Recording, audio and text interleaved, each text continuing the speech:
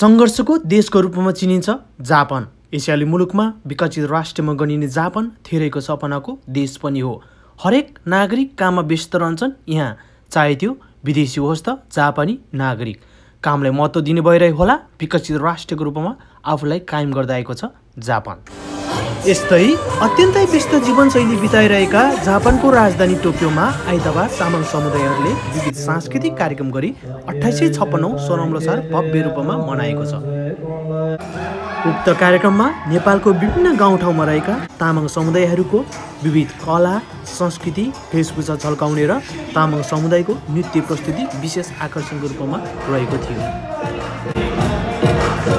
यो समाजले यस्ता विभिन्न कार्यक्रमहरू आयोजना गर्नुको साथै सामाजिक कार्यहरूमा पनि सहयोग गर्दा आएको र प्रवासमा रहेर पनि आफ्नो पुर्खौली संस्कृतिलाई मनाउन पाउनु आफूहरूको लागि निकै गौरवको विषय रहेको बताउनुहुन्छ तामाङ समाज जापानको अध्यक्ष रुबिना तामाङ।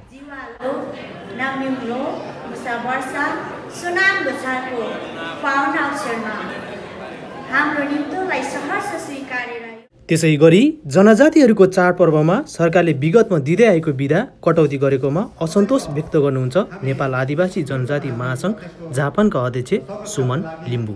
अधिकारको लागि हाम्रो सांस्कृतिक हाम्रो धर्म हरेक तर्क तब्काबाट हामी एकत्रित भएर हामी समानुपातिक समावेशीको लागि हामी सङ्घर्ष गरिरहनेछौँ। त्यो नेपाल आदिवासी जनजाति महासङ्घ तर्फबाट मेरो रिपोर्ट हो यो। प्रवासमा हुने विविध यस्ता कार्यक्रमहरूलाई गैर जनजातिहरूले पनि आम नेपालीहरूको साझा पर्वको रूपमा बुझ्नुपर्ने बताउनुहुन्छ एनआरएनए जापानका अध्यक्ष देवीलाल भण्डारी।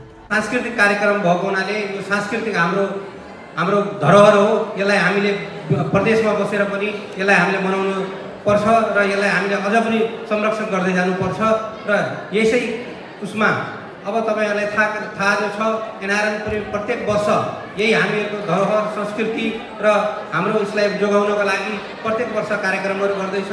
यही जुनमा अब हामीले यही हाम्रो कल्चरहरूलाई झल्काउनको लागि गत वर्ष चाहिँ पनि यस वर्ष पनि हामीहरूले नेपाल फेस्टिभल गर्दैछौँ। यहाँहरूलाई यो जुन हाम्रो कल्चरहरू छ त्यहाँ पनि हामीहरूले देखाउनेछौँ र यहाँहरूको साथ र सहयोग सदा हामीले पनि पाउनेछौँ भन्दै र यो जुन अहिले नेपाल सरकारले जो विजिट ट्वेन्टी ट्वेन्टी भनेर भ्रमण वर्ष मनाउँदैछ त्यसको लागि पनि यहाँहरूले आफ्नो सक्दो ठाउँबाट प्रचार प्रसार गर्नुहुन्छ भन्दै र यहाँहरूलाई सम्पूर्णलाई आजको यो कार्यक्रम र सफलताको शुभकामना दिँदै मेरो विचारमा यो कार्य समितिको पहिलो कार्यक्रम पनि भएको हुनाले यहाँहरूलाई जुन यो भव्य र सभ्य कार्यक्रम गर्नु गर्दै हुनुहुन्छ।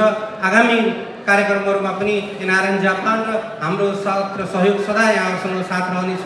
भन्दै यहाँहरूको यो आजको कार्यक्रमको सफलताको शुभकामना दिँदै म छोटकरीमा मेरो देश हाम्रो देश नेपालमा भएका विभिन्न जात जातिहरूको विविध कला धर्म संस्कृतिहरूलाई यस्ता विविध कार्यक्रम गरी विश्व समुदायमा प्रस्तुत गर्न सकेमा। पक्कै पनि हाम्रो देश नेपालको नाम। विश्व सामु बहुभाषी बहु संस्कृति भनेर पक्कै पनि